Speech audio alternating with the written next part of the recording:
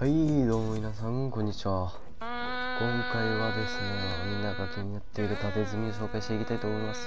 僕が使っている縦積みこれですね。はい。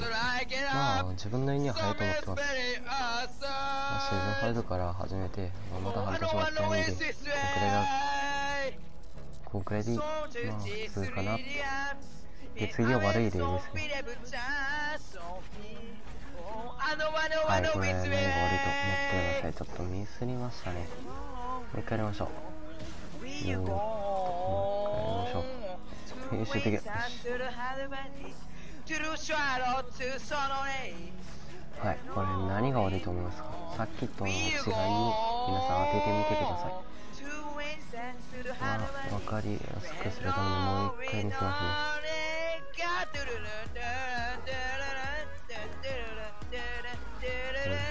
ほいほいはい。何が違うと思いますか？じゃあ正解発表しましょう。正解発表はジャンプのタイミングです。悪い例の時のジャンプのタイミングはこちらです。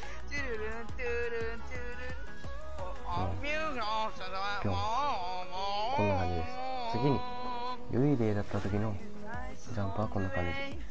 ぴょんぴょんぴょん。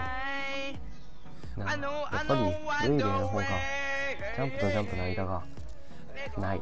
隙間がないから早くその分早く上に登れるというごく簡単なことなんですけどやっぱりみんなが意識できてないところかなと思いました。まあこんな感じでジャンプの隙間を少なくする。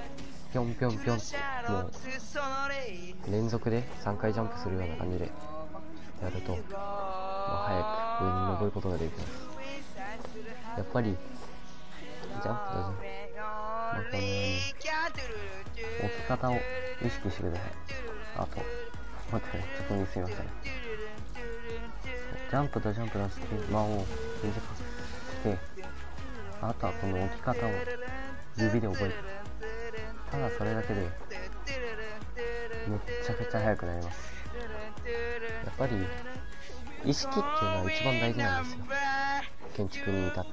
やっぱり意識がなかったらやっぱりいつまでも上手くならないと思うんで皆さんもこのジャンプとジャンプの隙間を開けずにでしっかり自分が指でちゃんと置けているか指を動かせているかっていうのを確認してください。もう一回やりましょう。はいしょ、ああミスか、まあ、こんな感じですかね。まあ皆さんもこの建築を使って頑張ってみてください。はいということでじゃなくてこれ当て付けなんでちょっと動画進んでますね。